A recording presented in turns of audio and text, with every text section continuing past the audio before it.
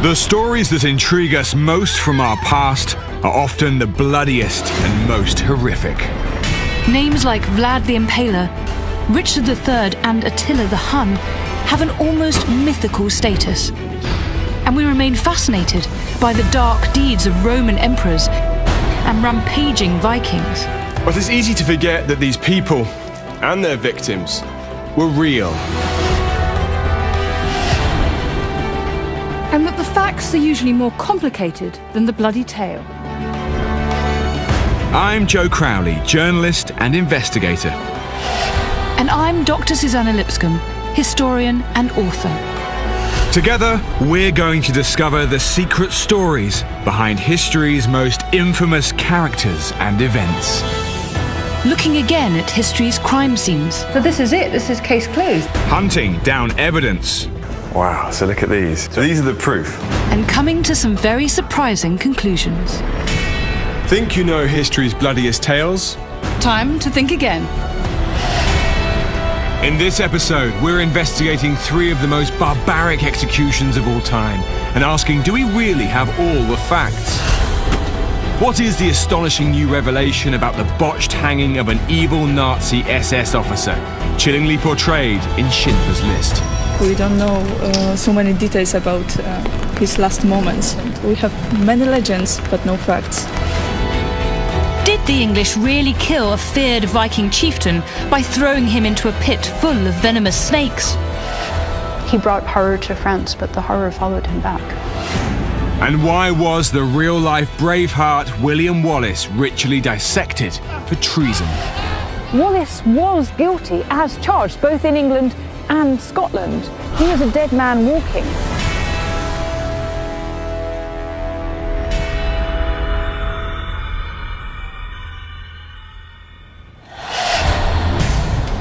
13th of September 1946, and former SS officer Amon Goeth is about to be hanged in Krakow, Poland.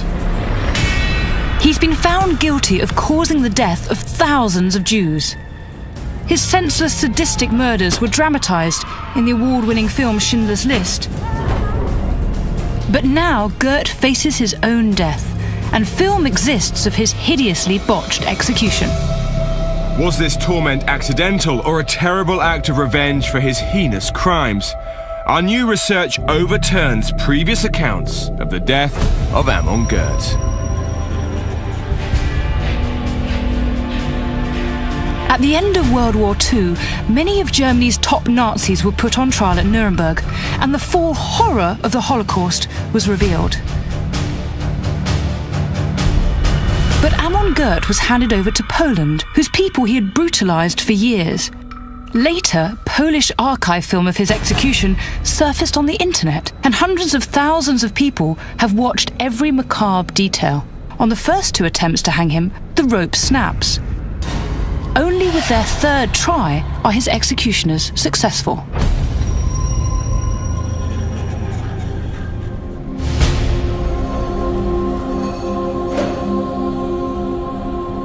Ever since the publication of the book Schindler's List and the hugely successful film that followed it, many of the tourists here today are looking for evidence from that time. These tourist taxis even advertise trips to the Schindler's factory and to the ghetto. But what you won't find evidence of is of the man who put these places on the tourist map, SS officer Amon Leopold Goeth. In the film Schindler's List, Goeth is a murderous sadist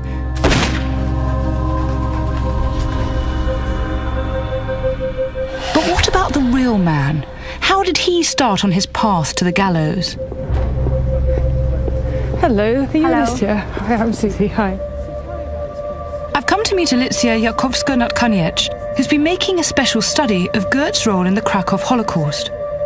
So tell me about Amon Goeth. What sort of man was he? What was his background? Uh, he uh, born in Austria uh, in 1908. He um, came from a middle class family. Uh, they have um, publishing company in Vienna. Do think he was a committed Nazi? No, I don't think. Because of his character, because of his temper, and because he um, does uh, everything because of money, of um, prestige. In 1942, Goeth joined SS troops clearing the Jewish ghetto in the Polish city of Lublin.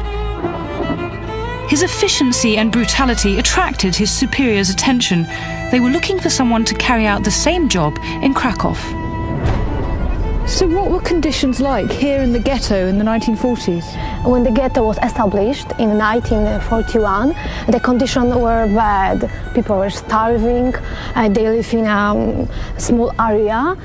And what changed when Amon Goeth arrived? He uh, started to kill Jews, to exterminate them in the ghetto, and um, it was in 1943. And I think uh, we um, must go to the main square when that action, when that killing started. It's important uh, because it's the place uh, where uh, Jews were killed by shooting, and it was ordered by Amon Goeth. After clearing Krakow's ghetto with his trademark violence, Goeth was given command of a new concentration camp, where many of the city's former inhabitants had been sent. Plaszow camp became Goeth's kingdom. As commandant, he believed he could murder and brutalize as much as he wanted. Thousands would die here while he was in command. So now I've learned something about Amon Goeth and his terrible crimes that meant he deserved punishment. But now I want to find out something more about that botched execution. Why did the Polish authorities mess it up so much? Is it really that hard to hang a man properly? Or is there something more to the story?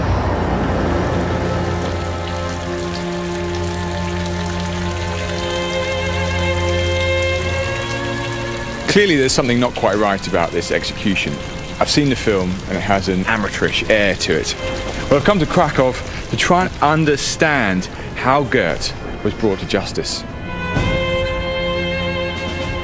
Goeth's reign of terror at Plaszow camp ended in September 1944 when he was arrested by the Nazis' own secret police, the Gestapo.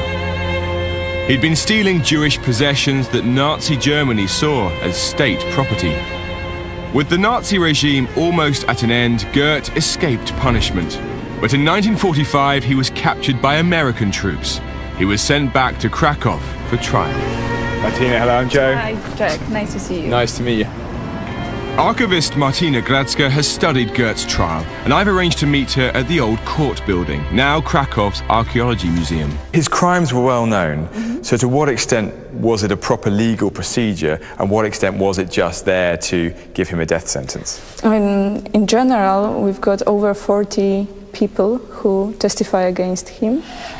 Um, many um, people testified that uh, he was the most cruel man, and they mentioned that um, there was a small sign that uh, he's gonna kill somebody because uh, every time when he was wearing a white scarf and gloves, the day ended with, uh, some people who were shooted by him. The testimony of witnesses at his trial showed that Amon Goeth was a brutal sadist who killed without reason. He was found guilty of causing the death of 2,000 Jews when Krakow ghetto was liquidated and of 8,000 prisoners at Plaszow concentration camp. He'd also stolen valuables worth millions. What was his defense, and, and how did he behave during the trial? Every day he denied. Uh, he denied that he committed crimes, he denied that he stole money. Uh, he did not seem to feel guilty. I mean, that he, he was actually very proud, you know, with his sarcastic smile. After his trial, Goeth was brought here to Montelupich prison. On that day in September 46, what do we know about Goeth? What time was he brought down here to, to, to meet the executioner? Uh, we are not that lucky. We don't know uh, so many details about uh, his last moments. We have many legends, but no facts. Uh, there is this uh, very famous story that he said uh, Heil Hitler at the end, that he smoked even before he was uh, executed. We don't see that in the in the film of the execution. So something's not quite right. Something mysterious about his uh, last moments. But this is a military procedure. These are military men hanging Yes. him. I mean, what do the prison records say about Goetz? Um, just a simple sentence. He died. It seems extraordinary that Goeth was a high profile figure, and yet there's so little documentation about his execution. All we have to go on is a short film clip that's had thousands of hits on the internet. Well, I'm not quite sure what to make of that. I'm equally baffled and surprised by what I've just heard. Here was a major war criminal who had carried out unspeakable crimes in this part of Poland. There is a real effort to bring him to justice, there's a full trial, and yet when it comes to this critical moment of carrying out the death sentence, it's just not recorded. There's a simple line that says he died. So it's it's kind of thrown up more questions than it has answers really. There's something about the Goeth case that just doesn't add up. The more I look at the video of Amon Goeth's execution, the more I wonder if the failures were down to more than just bad luck. Could they have been some kind of retribution for a brutal Nazi killer? Or were the executioners just struggling to carry out the job efficiently? I want to find out just how a hanging is supposed to work. Now, to me, this is what a proper hanging gallows should look like. Look at the scale of it. It's much higher, it's much bigger, it's much more solid than the one we see in the Goeth film. And that's because it's a replica. They actually hanged men here in this exercise yard at the old prison, what's now the Galleries of Justice Museum in Nottingham. Isn't this what they should have used when they hanged Amon Goeth? Hanging has been used as a method of execution for centuries. The most notorious recent hanging was that of Saddam Hussein in 2006. One of the few people in Britain today who has studied different hanging techniques is Gary Ewart. I'm hoping you can tell me a bit about hanging and, and how it should be done properly. Judicial execution was quite a technical process because the hangman would have to work out the correct length of drop to ensure instant death. If they dropped them too far, it would pull the head off. Too short, they would strangle. I'm hoping that Gary can help me understand exactly what went wrong in Amon Goeth's case. Look at that straight away. The thickness of the rope there. It's like a washing line. So the rope is too thin? Way too thin. There's no way is that going to take that sort of weight under impact. The pit isn't deep enough, it must be about three foot, that's all. Now, with the inclement weather, all the snow and ice about. Why would that affect the rope? Well, if it's got ice in it, it's going to be frozen up, so it just break. So this is a completely botched execution? Oh, yeah, completely botched. That guy would take up to 25 minutes to die. I find it horrifying to watch the slow strangulation of a human being. And Goeth's executioners themselves obviously found the hanging a traumatic experience. There's no indication of retribution, just stress and frustration. I came here to the Galleries of Justice to find out why Amon Goeth's execution went so wrong and if they just didn't care about doing the job properly. And it certainly seems that the people doing it had no idea what they were doing. But the thing that really stays with me from talking to Gary is that he said there was snow on the ground. Now, Amon Goeth died on the 13th of September 1946. September. Surely that would be too early for there to be snow on the ground. I'm beginning to wonder whether it actually is the convicted Nazi Amon Goeth's execution, or if it's just a fake, or someone else. I think for Joe and I, this changes the whole investigation.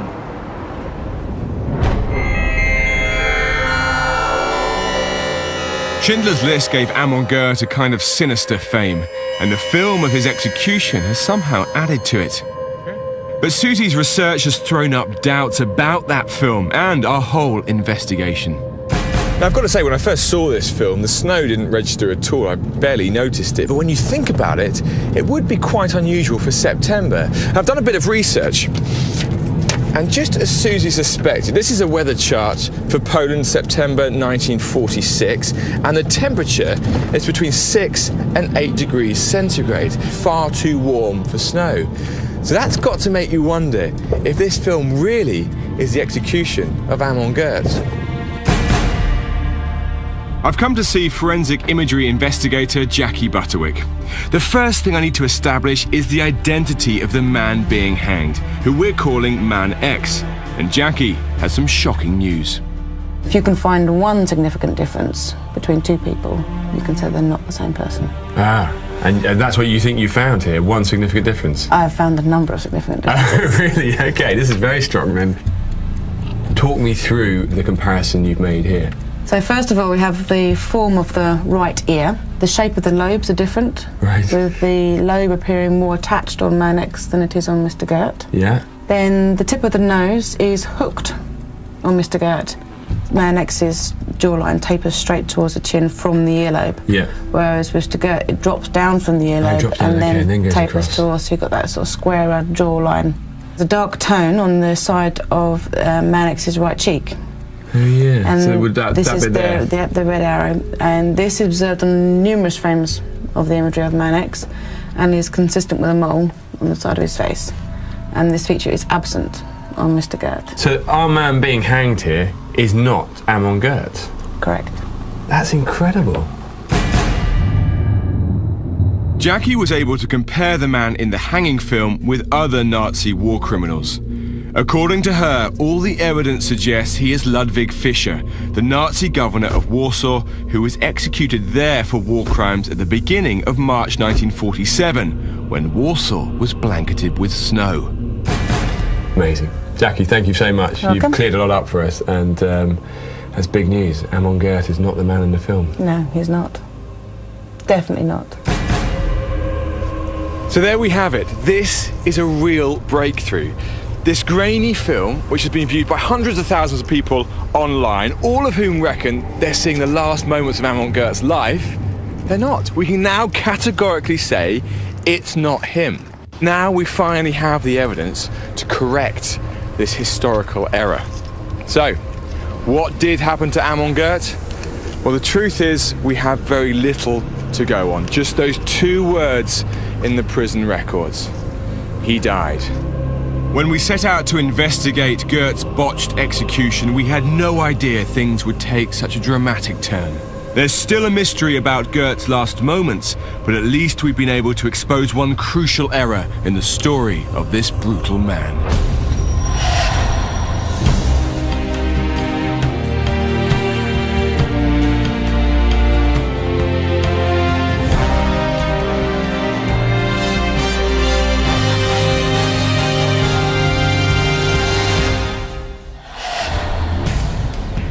It's 845 AD. Feared Viking warrior Ragnar Lodbrok has been captured by the English king of Northumbria and is to be thrown into a pit of venomous snakes and bitten to death.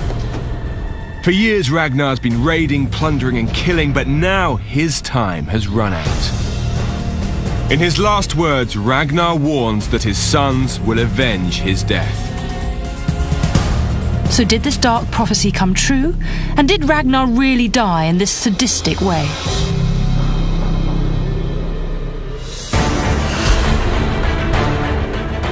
When Ragnar was executed in 845 AD, the Vikings had terrorized Europe for decades. Their tactic was simply smash and grab, with monasteries and churches the most profitable targets. And they didn't stop with Europe. At the height of their power, these Scandinavian pirates crossed oceans and set up bases as far afield as North America and Asia Minor. To find out more about Ragnar's bizarre execution, I've come to the Royal Library in Copenhagen to meet Norse historian Dr. Rory McTurk. Rory, good to see you. How are you? Okay, thanks. He wants me to see the oldest existing manuscript of Ragnar's saga.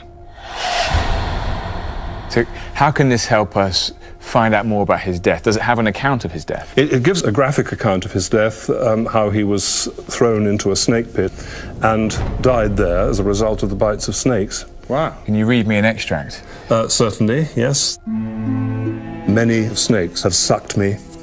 I shall soon be a dead body and die among beasts.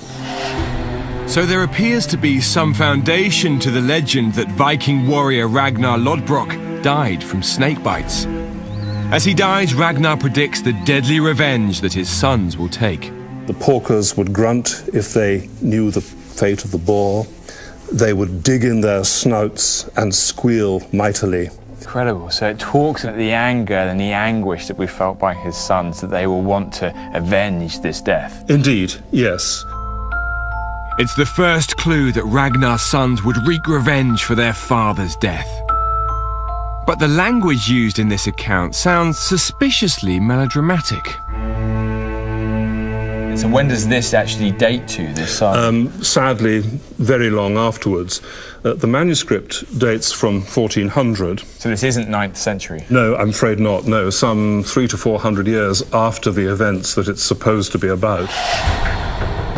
It's an absolute privilege to work with a manuscript like that, but I'm not sure exactly how much use it's been. It's completely wrapped up in mythology and it's written 400 years after Ragnar died. Now, even today, we struggle to accurately depict history from 400 years ago. So it's got limited value, to be honest. If I want to find out more about Ragnar's death, I'll have to track down some other accounts of what he was up to in 845 AD.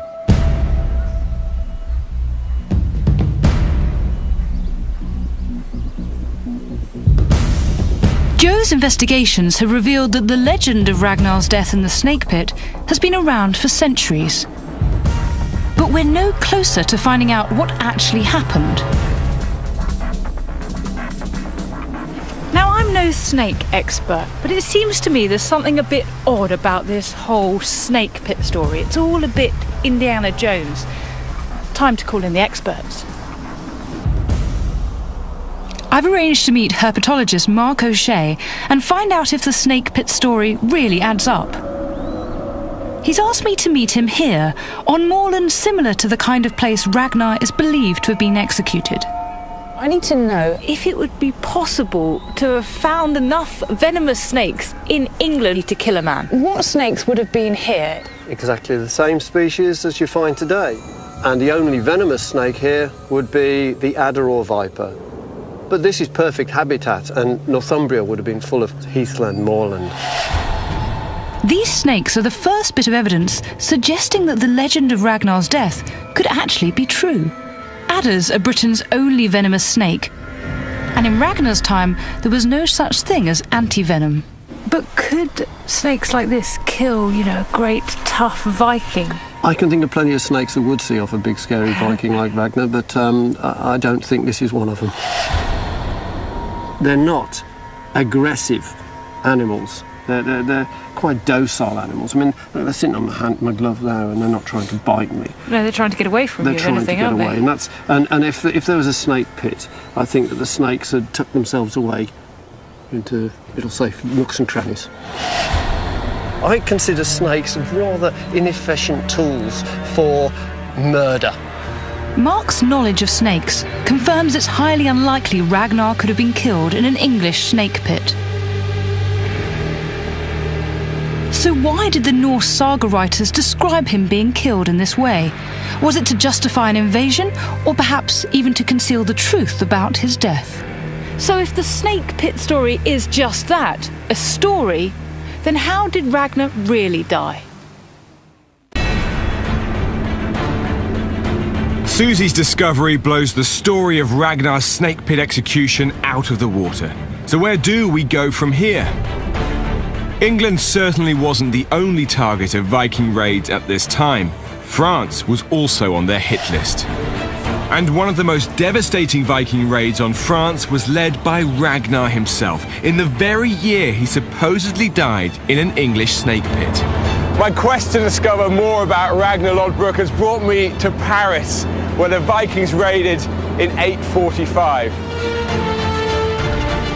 120 Viking boats sailed up the Seine from the coast, and of course, the river brought them right into the heart of the city. I'm meeting a historian who studies exactly what happened when the Vikings hit Paris, Dr. Elizabeth Rowe. Hi, Elizabeth. Hi. According to Elizabeth, Ragnar and his pirates attacked a church that in 845 was just outside the city, the Abbey of Saint-Germain-des-Prés. The oldest part of the abbey is built on the remains of the very building Ragnar captured. What can Paris tell us about Ragnar?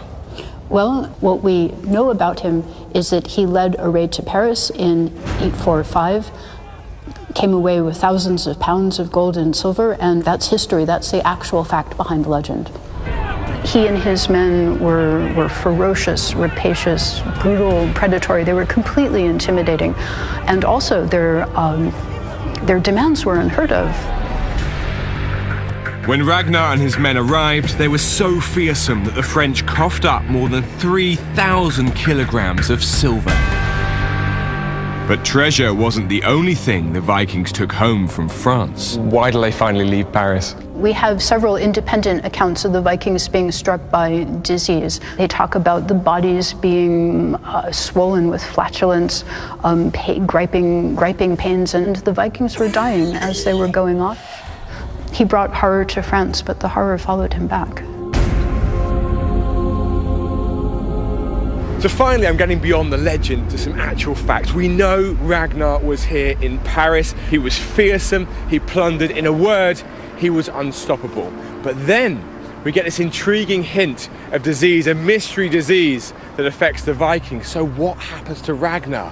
Where does his real life saga go from here?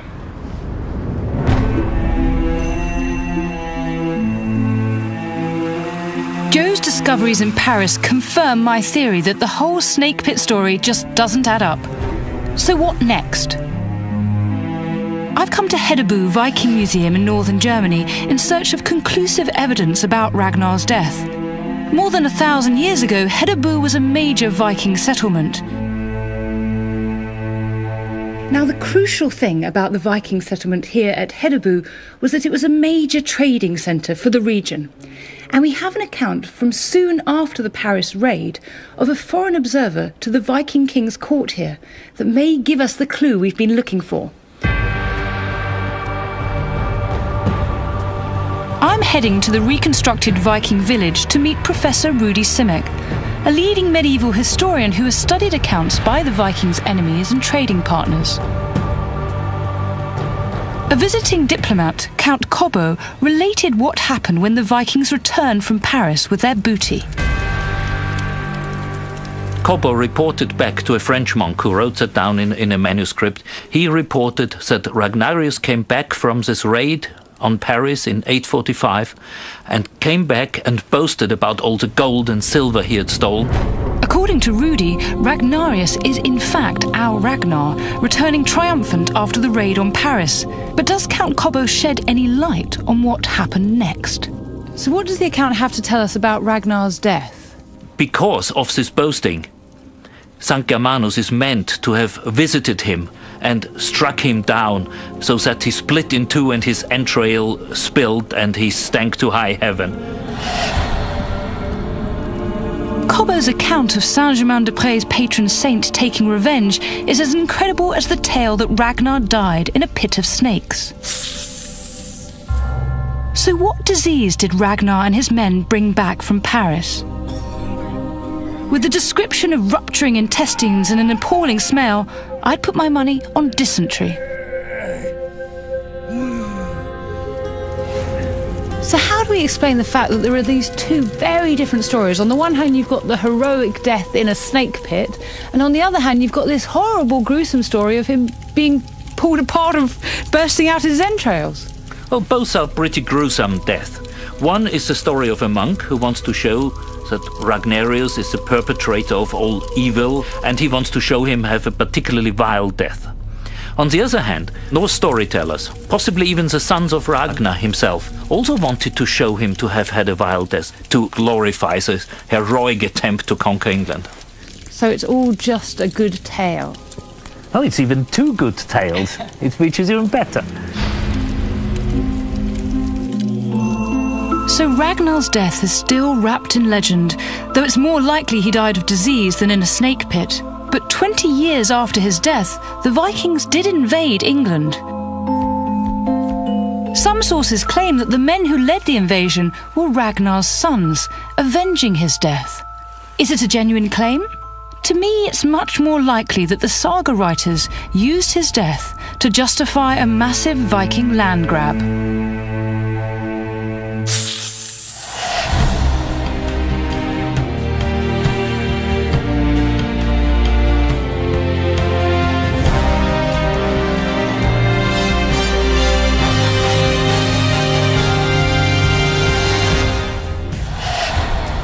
23rd of August 1305, and Scottish rebel William Wallace is about to be executed for treason.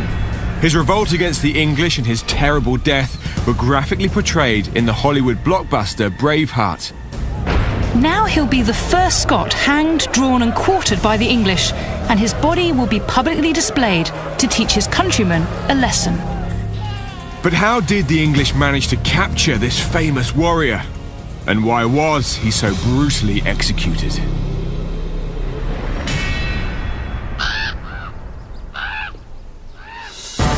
Seven hundred years ago, England and Scotland were bitter rivals. England's powerful king, Edward I, was determined to control his neighbours. But in 1297, a battle took place which created one of the greatest heroes in Scottish history, William Wallace. On the 11th of September 1297, William Wallace exploded onto the historical scene right here in Stirling in Scotland. He was one of the commanders of an outnumbered Scottish force who destroyed an English army against all odds just upstream from where I'm standing now. But only eight years after this incredible victory, Wallace suffered one of the most violent punishments in English legal history. He was dragged through the streets, choked, had his entrails pulled out, and was hacked to pieces. So, what went wrong? I want to find out more about the man, and I'm hoping that tower behind me on the horizon will be a good place to start. This is the Wallace Monument, close to the site of that stunning victory at Stirling Bridge. On display here is the huge sword said to have been used by Wallace in battle. Its size suggests he was a giant of a man. But where did this impression originally come from? I'm here to meet an expert on the Wallace legend, historian Dr. Fiona Watson.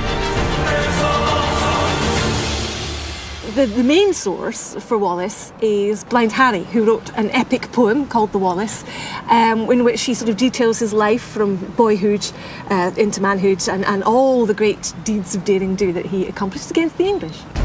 Harry was the source for the movie. Mel Gibson got it right. The face paint, the wild hair, the kilt, everything about the man was, was spot on, was it? Well, spot on as far as uh, Blind Harry's concerned, but then there's the big question mark about whether that's got anything to do with the real William Wallace. There's this great desire to have the kind of Hello magazine version of Wallace's life, uh, and you've got all that in Harry, but in real life, historians can't give you anything of that, which is very tedious. So, mm. what's the problem with Harry's version of events? Well, Blind Harry was writing in the 1470s, and in the 1470s, the Scottish King, James III, was considering making peace with England. Powerful Scottish nobles didn't want to make peace with their southern neighbours, and they used Blind Harry's story to rally support. Now, there were a lot of Scottish nobles, and they really didn't want peace. They wanted to find a symbol, if you like, of categorical Scottish resistance to having anything to do with the English, and Wallace fitted the bill because he never ever gave in. Wow, so this is classic PR that tells us more about the 1470s than does anything about William Wallace. Oh, you're absolutely right. Yes, it tells us an awful lot about what people thought in the 1470s, but very little about the real man who lived 150 years earlier. It's obvious that most of the Wallace legend is just propaganda. And as for the blue faced, long haired, kilted warrior, well, that's just Hollywood. The gigantic sword displayed in the monument is now my only tangible link to this Scottish hero. Surely it can reveal something about its owner, the real Wallace, who died so horribly in 1305.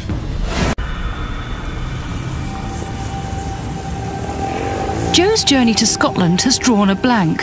The only thing we know for sure was that William Wallace suffered the excruciating death of a traitor.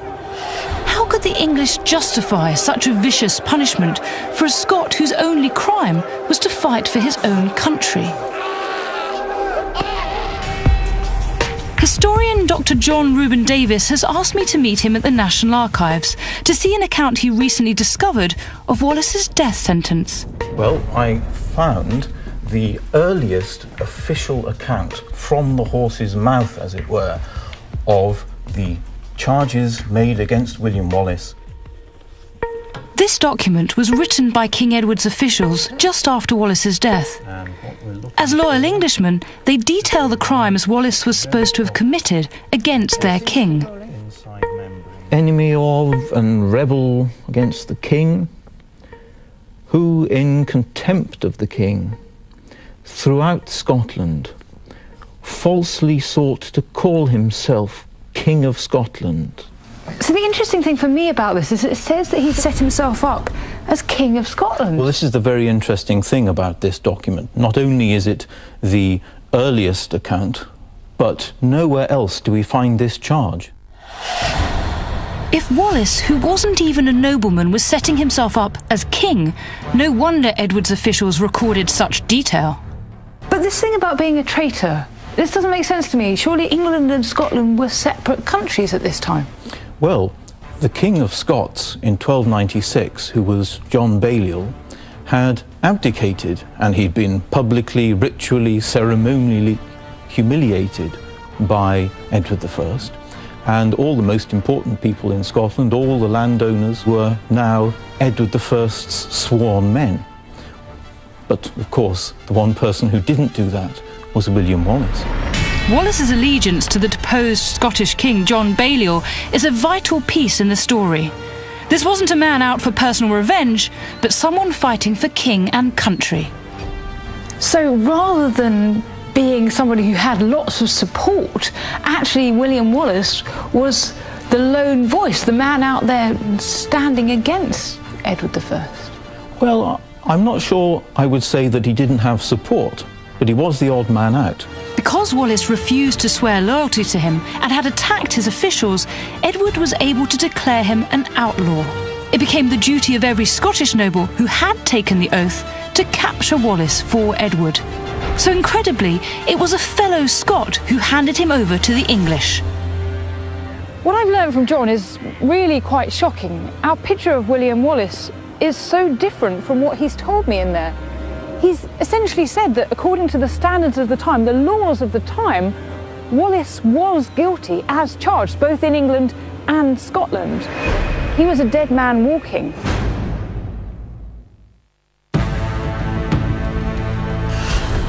My visit to the Wallace Monument gave me a great sense of the myth, but no clear picture of the real man who was drawn, hanged, and quartered. But the massive Wallace sword, weighing almost three kilos at 1.63 meters long, really made an impression on me.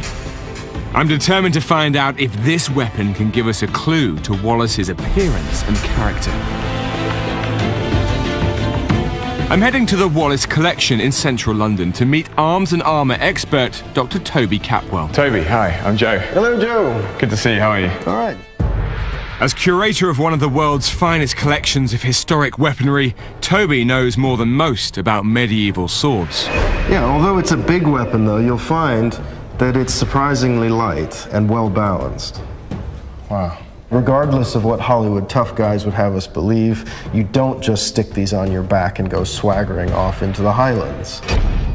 Two-handed swords like this were used by small numbers of very highly trained knights and swordsmen, going straight into the front rank of the enemy and trying to cut bloody swathes through them. But what does the Wallace sword tell us about the man himself? Absolutely nothing. Really? The Wallace Monument sword represents a double fallacy. First of all, the size of a weapon tells you nothing about how its user was built physically. A two-ended sword can be used perfectly well by someone who's four and a half feet tall. Second of all, it's not a medieval sword. Oh, really? It dates from the 16th or early 17th century. The sword first appears in historical records in 1505, 200 years after Wallace's death. It's been housed at the Wallace Monument since 1888. Well, there's a little history lesson for you. You can't judge a man by his sword. The only thought that does occur to me is just maybe by making him into this legend, this superhuman with a ginormous sword, we actually do him a disservice. Maybe he was far more normal, and that would make his achievements all the greater.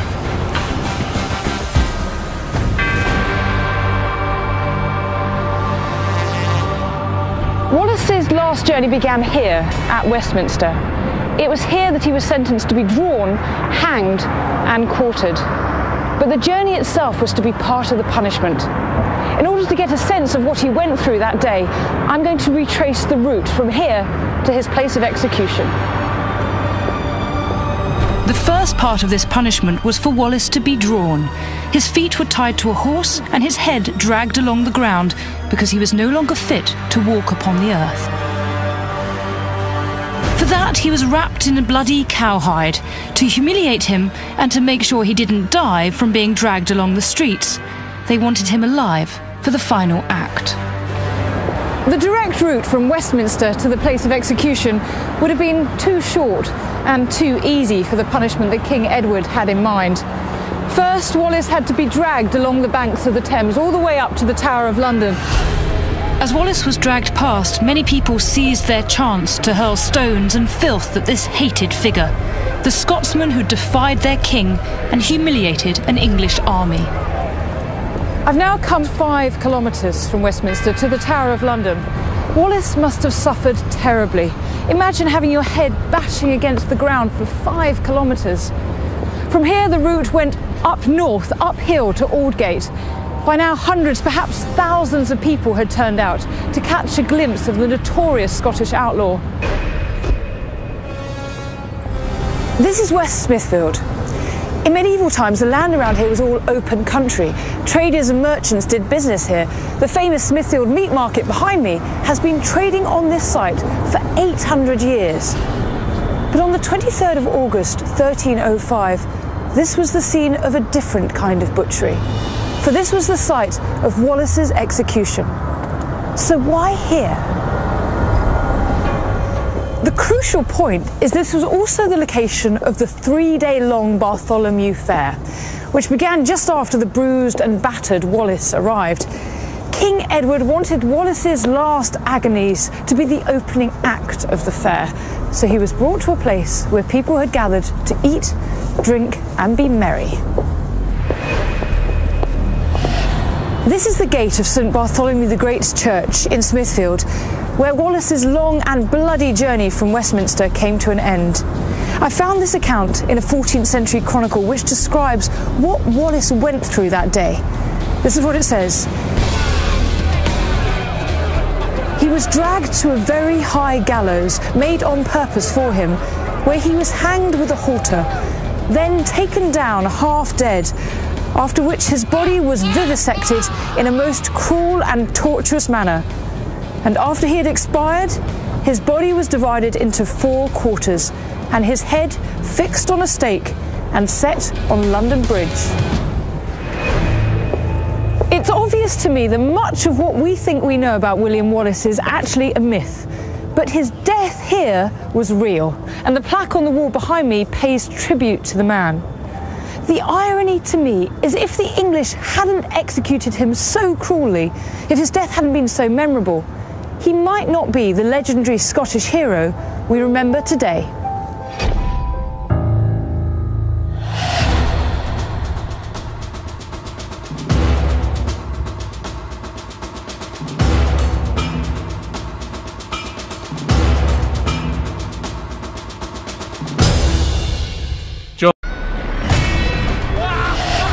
The stories that intrigue us most from our past are often the bloodiest and most horrific. Names like Vlad the Impaler, Richard III, and Attila the Hun have an almost mythical status. And we remain fascinated by the dark deeds of Roman emperors and rampaging Vikings. But it's easy to forget that these people and their victims were real. And that the facts are usually more complicated than the bloody tale. I'm Joe Crowley, journalist and investigator. And I'm Dr. Suzannah Lipscomb, historian and author. Together, we're going to discover the secret stories behind history's most infamous characters and events. Looking again at history's crime scenes. So this is it, this is case Cloto. But what you won't find evidence of is of the man who put these places on the tourist map, SS officer Amon Leopold Goeth. In the film Schindler's List, Goeth is a murderous sadist.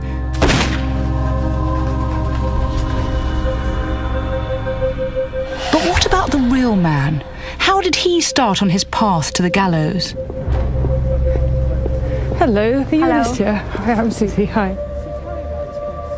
I've come to meet Alicia Jakowska Natkaniec, who's been making a special study of Goeth's role in the Krakow Holocaust. So tell me about Amon Goeth. What sort of man was he? What was his background? Uh, he uh, born in Austria uh, in 1908. He um, came from a middle class family. Uh, they have um, publishing company in Vienna. Do you think he was guilty as charged, both in England and Scotland? He was a dead man walking.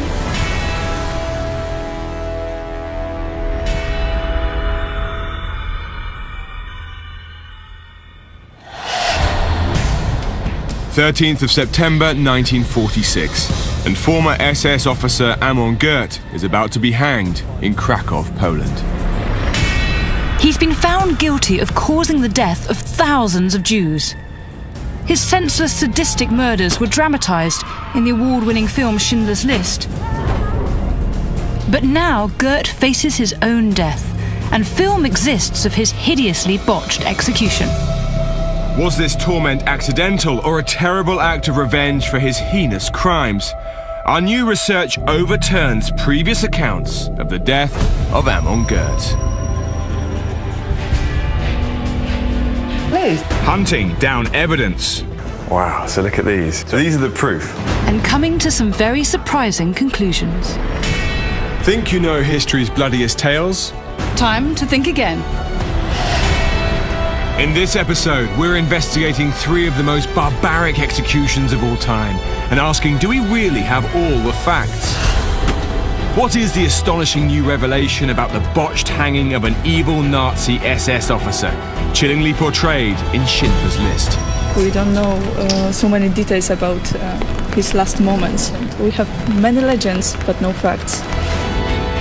Did the English really kill a feared Viking chieftain by throwing him into a pit full of venomous snakes? He brought horror to France, but the horror followed him back.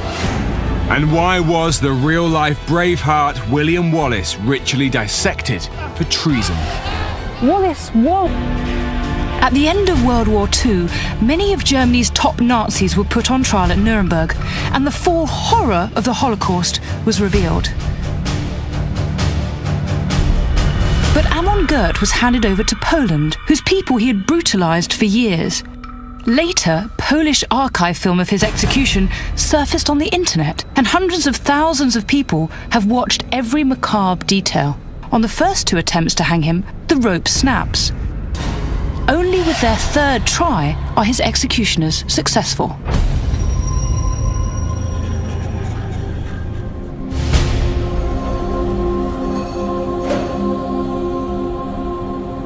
Since the publication of the book Schindler's List and the hugely successful film that followed it, many of the tourists here today are looking for evidence from that time. These tourist taxis even advertise trips to the Schindler's factory and to the ghetto.